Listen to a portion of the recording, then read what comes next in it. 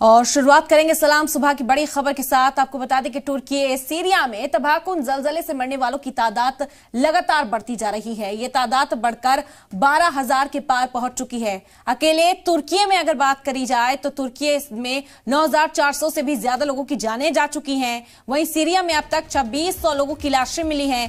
तुर्की Syria में जख्मियों की तादाद चालीस हज़ार के पार हुई है। सत्तर से ज़्यादा मुल्कों ने तुर्की में भेजी है मदद।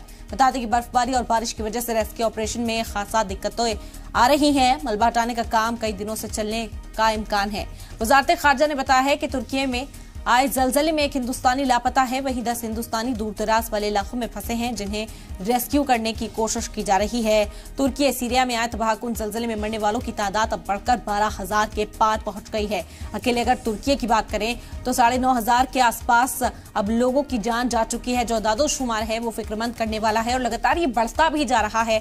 आपको बता दें कि सीरिया में अब तक छब्बीस लोगों की लाशें मिल चुकी हैं और लगातार रेस्क्यू ऑपरेशन यहाँ पर चलाया जा रहा है। अब नामुमकिन सा है, जो लोग मलबे के अंदर फंसे हुए हैं। तीन रोज गुजर गए हैं और उनका अब ज़िंदा बाहर निकलना उसकी उम्मीदें बहुत कम हो गई हैं। छब्बीस सौ लाशें अब तक सीरिया में बरामद कर ली गई हैं। बता दें कि जख्मियों की तादाद चालीस हज़ार से ज़्यादा हो गई है। लगातार फ़र्स्ट एड पहुँचाने का भी काम किया जा रहा है। अस्पताल आर्जी तौर पर तैयार किए गए हैं। होटल्स को अस्पतालों में तब्दील किया गया है ताकि लोगों को सहूलत पहुंचाई जा सके। चालीस हज़ार से भी ज़्यादा जख्मी हैं जिन्हें फ़र्स्ट एड की ज़रूरत है, इलाज की ज़रूरत है। हिंदुस्तान भी इसमें पूरी मदद करने की कोशिश कर रहा है।